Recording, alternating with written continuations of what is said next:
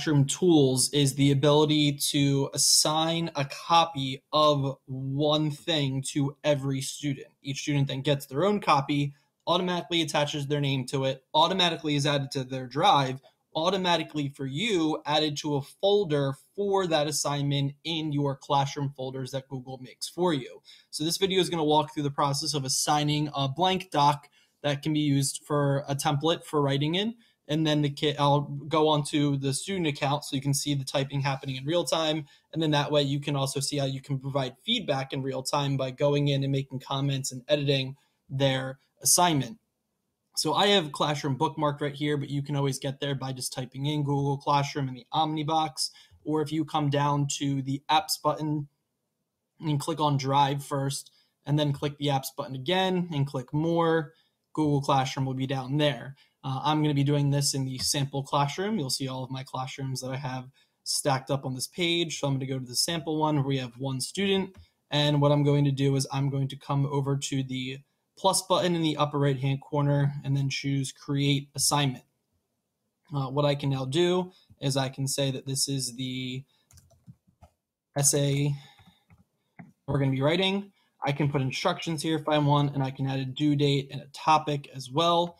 And then I'm going to want this to go to all students specifically because I only have one student. But if you clicked here, you can now also differentiate in between uh, your one classroom. So if I had multiple students, I can click off all students and then I can select any of the students that are here. So if I have a project that I only want a certain amount of kids to do or certain students to do, I can click their names off. It will go directly to them, but not everyone else. And this is a really cool new tool that Google put out recently that lets you really differentiate and individualize your education within a specific classroom.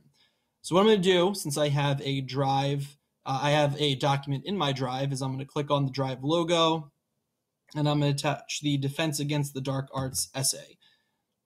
And then I'm going to come over to the right where it says Students Can View File, I want every student to have their own copy. If it's students can view, then they're just going to be able to see it. one of the good reasons that you would want to use that is so that way if you have a slides presentation that you want every kid to be able to see on their screen and you're not using Pear Deck, you can put up a slide and the kids can interact with that right on their screen.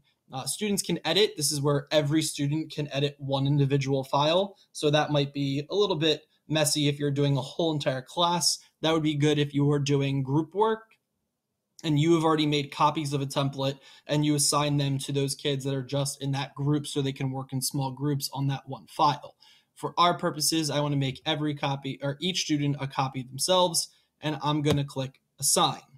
And then this will populate on my stream. And if I go over to my student account, which you can't see because I'm working on a Chromebook with this, it's going to populate on their stream. And then I'm going to, on their screen, click open on the assignment. And then I'm going to open that up and work inside of it. And I can now see this in a few different spots. If I clicked right here on the assignments part, I can click on where it says done, not done. And this right here is our test student. So I'm going to click on that essay and it will pop open. And I will know that there, the, the test student is in there because they also have up here their logo in the upper right hand corner. And on my the other screen, on the student screen, I can see my picture. There and there are other ways to see this. If I go to my drive and I go to my classroom folder that Google's made for me, I go to the sample classroom, it's then made a folder specifically for this essay. Every student's essay in that class will populate in here and you can hover over it and you'll notice that it adds the student's name directly to that file, which also will show up in the upper left-hand corner next to this. And then the student writes,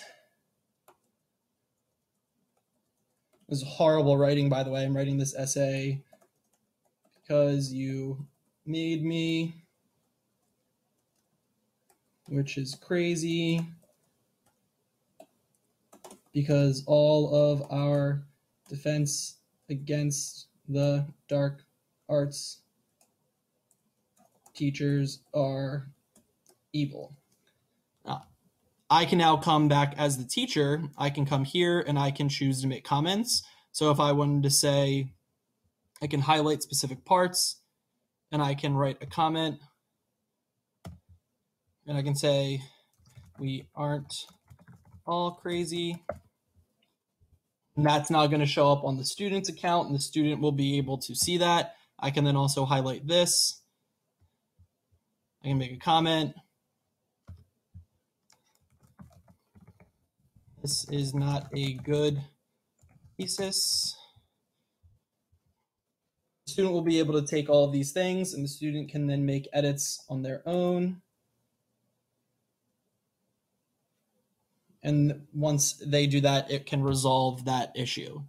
This is really beneficial if you are writing an essay or if you just assign them a template, you can make this essay look however you want, or this doc look however you want.